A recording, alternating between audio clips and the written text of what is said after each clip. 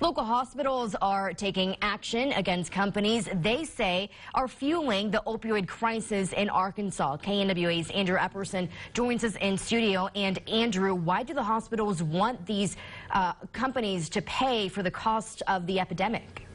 Yeah, an attorney who represents the hospitals tells me there's not an exact number being asked for just yet. But in a more than 300 page Washington County Circuit Court complaint, the hospitals say the cost of overdose and medical treatment should be covered by opioid marketers and distributors.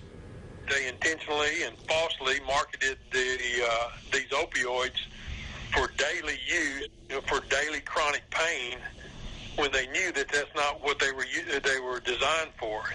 Attorney Thomas Thrash is on the team representing the Northwest Arkansas hospitals, including the Northwest System and the Fayetteville and Siloam Springs Hospital companies, suing more than 40 companies involved in the manufacturing, distribution, and sale of opioids. He says high-profile groups like Purdue Pharma, Johnson & Johnson, and Abbott Labs purposefully turned a blind eye to a growing opioid crisis in Arkansas. And I guess just through corporate greed, they caused the opioid epidemic that we're now in today.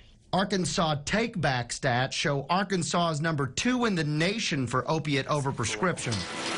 Okay, Paul. Dr. Randy Conover is a family physician in Centerton. There's just extra pills around for others to use it in non-prescription use and to defeat addictions. He says opioids do have benefits when used correctly. Not everyone gets addicted when they use an opioid, but some can, and many do.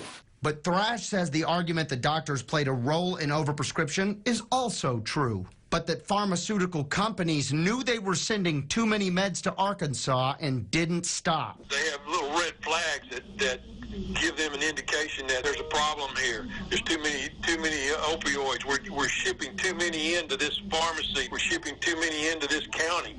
We're shipping way too many into this state. I reached out to many of the companies listed in the claim. So far, none have responded. Thrash says it's up to Judge John Threet in Washington County to decide how long it'll be before the case moves forward. Live in studio, Andrew Epperson, KNWA Northwest Arkansas News.